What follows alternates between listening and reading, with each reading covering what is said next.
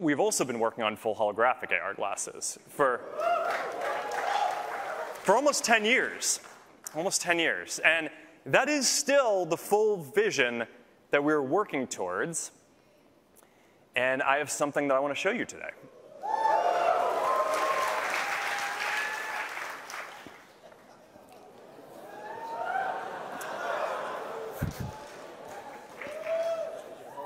Yeah, thanks for keeping them secure. Hold that. Just Okay. Okay. Watch your head.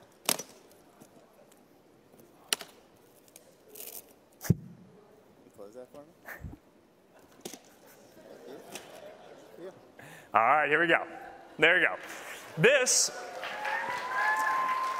this is Orion, our first fully functioning prototype, and if I do say so, the most advanced glasses the world has ever seen.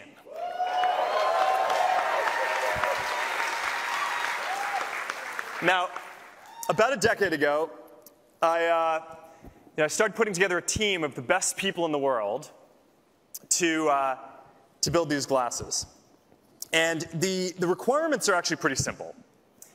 But the technical challenges to make them are insane.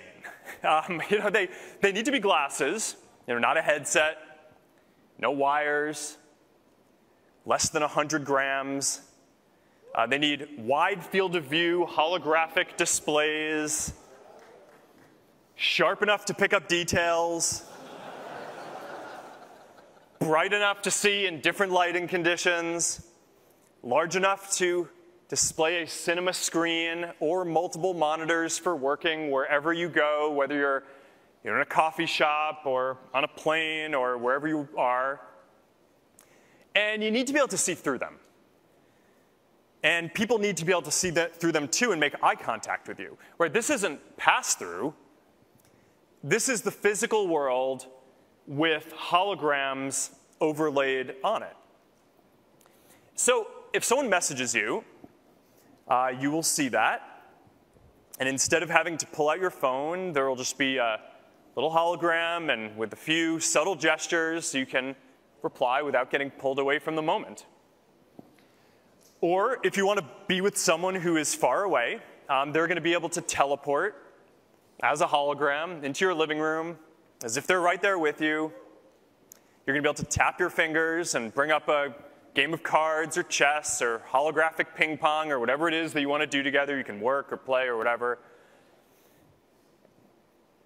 Building this display is different from every other screen that you have ever used.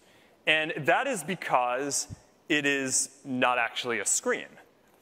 Um, it is a completely new kind of display architecture with these tiny projectors in the arms of the glasses that shoot light into waveguides that have you know, nanoscale 3D structures etched into the lenses so they can diffract light and put holograms at different uh, depths and sizes into the world in front of you. And all of that is directed by custom silicon and sensors that we designed and powered by a battery that fits in the arm of the glasses. It is a absolutely incredible amount of technology to be able to miniaturize and fit into a pair of glasses and a small puck that goes with it to help power the whole thing. All right, so how are you going to interact with the glasses? Well, there's a few ways that this is going to work. They're going to do voice and AI. They're going to do hand tracking and eye tracking, so you can select UI elements by looking at them. But there's one more way that you're going to be able to interact with them that is really pretty neat a neural interface. See, voice is great, but the thing is, sometimes you're in public and you don't want to say what you're trying to do with your computer out loud. Hand tracking is neat for controlling different interfaces, but you don't want to like walk down the street like this, right? So I think that you need a device that allows you to you know, just send a signal from your brain to the device. So this isn't just the first full screen, like uh, you know, full wide field of view holographic AR glasses. This is also the first device that is powered by our wrist-based neural interface. So when people have gotten to try out these glasses, we've shown them to a, a handful of people at this point, it's like, it's like an emotional experience. I mean, like people kind of giddy, they don't want to take them off. A lot of people have said that this is the craziest technology they've ever seen. Um, you know, it was enough that I wanted to add to this keynote a montage of some of the fun reactions that, that, that people have, have had since it's pretty wild. So you want to cut to that for a second?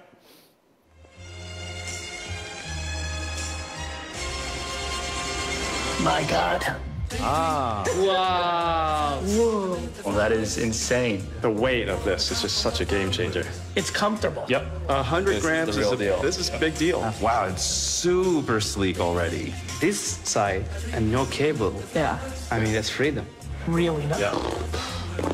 Oh, your Codec avatars. He is uh, 3D. Yeah. That's nuts. Can you wink at me? No way.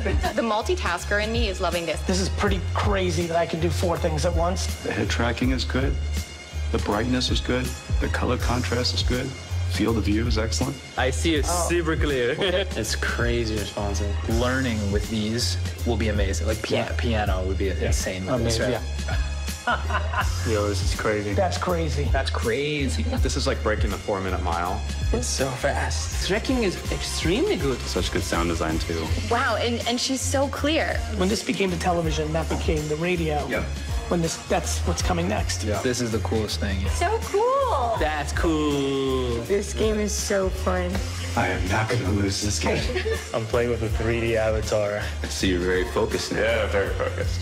You really do kind of feel like like a superhero. It's like a new new sense, new dimension. Wow. This this can be just a whole new world.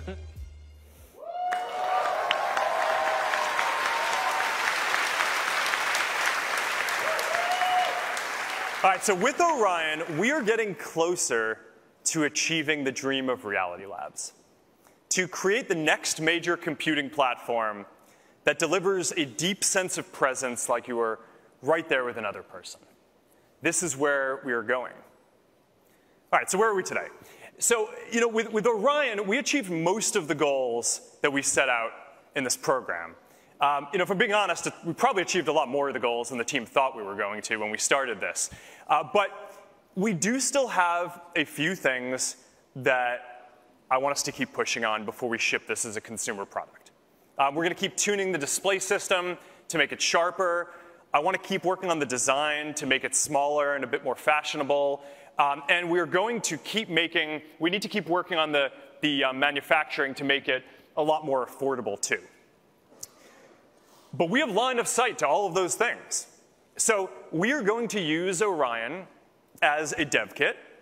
Um, we are going to use it mostly internally to build out the software that we, that we need to, but we're also going to work with a handful of partners externally to make sure that we get a diversity of content and, and um, you know, just that we can really dial in the software and the experience so that way, when we have the next version of this hardware, it is going to be ready to be our first consumer full holographic AR glasses.